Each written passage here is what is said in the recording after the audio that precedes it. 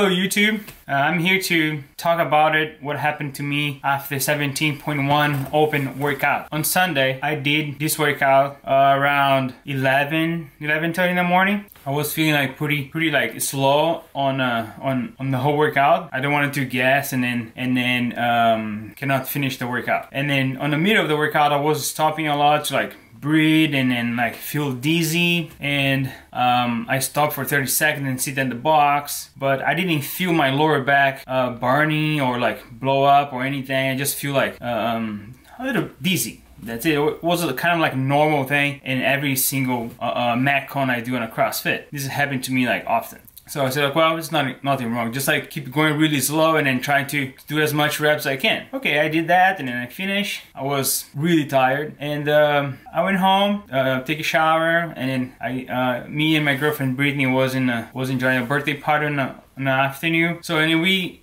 we got out for dinner and I stayed there and have some friends. Um, was fine. I was walking everywhere. I was not feeling pain or anything or sore or nothing. It was like totally normal. On Monday, I wake up earlier, drove to San Francisco to work. I worked the whole day and um, came back home around six, I guess.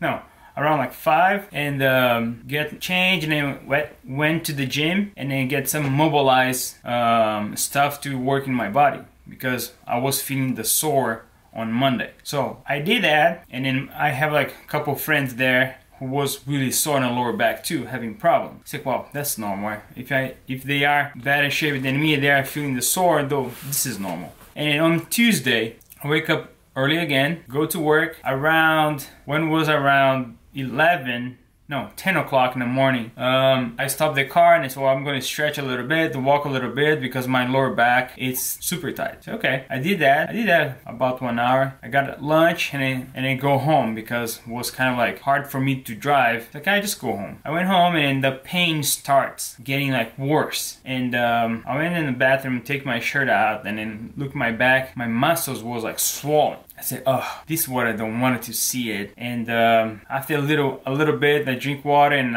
after a little bit, I went pee, and then I saw my pee was super brown. From there, I knew it.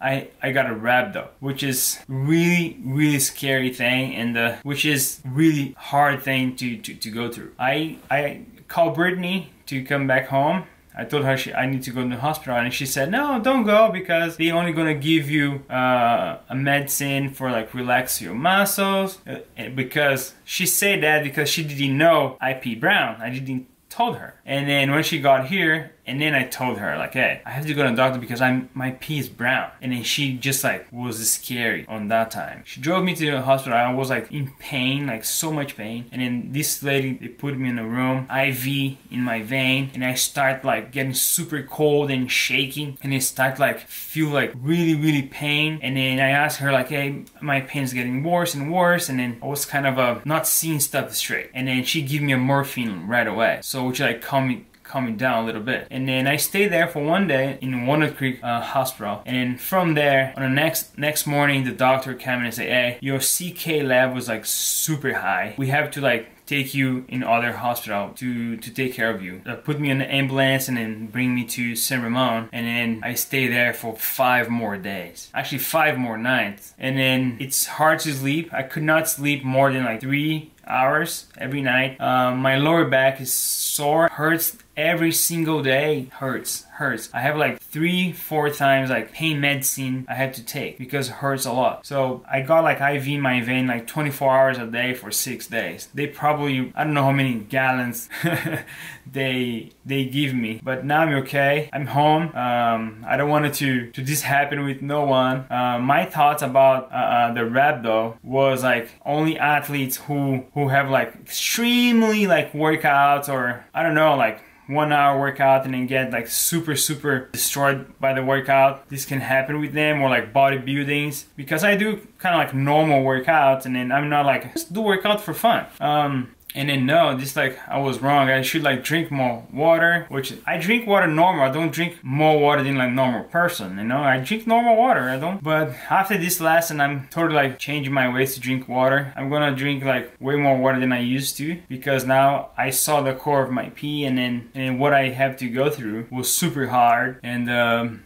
I just wanted to give you a message for you guys out there who never had it and then doesn't know what a though is. Um, check it out, man. Like just search, research, and then just be careful. I was not working out for probably two months. And then I started back in the gym doing like nothing crazy, just like row or like uh, uh, some lifting and then uh, running and air dying and then some like easy metcons, but this was one or two, and then the open comes, and then I just jump on the freaking first workout. And so like, well, I just go slow. I don't need to go super hard, and then I'm gonna have fun.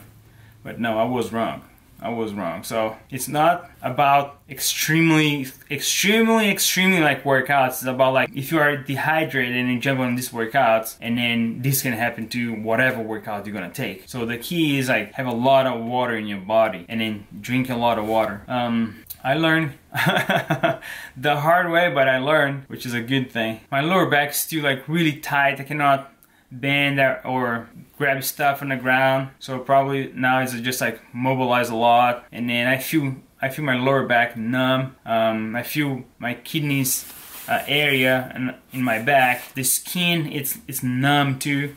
This was happening when I was on my way to the the the hospital, and then still the same thing. I'm gonna wait like one more week and then see if like going away or wait one more day and then call the doctor and then said like hey my skin is too numb and then see what's gonna happen. I wish I have the answer what, what's gonna happen after. I can make another video if it's the case. Alright. I wanna say thank you for all the CrossFit community text message me when I was in the hospital or like my friends come to see me. The Diablo CrossFit who sent me uh, uh, flowers um, to my room in the hospital. Thank you so much. Um, I will be back in the gym soon. And then you guys are killing on, a open workouts. I haven't seen like some videos.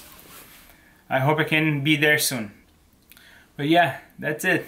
Thank you guys. Have a good night. I will be at the gym soon. Take care.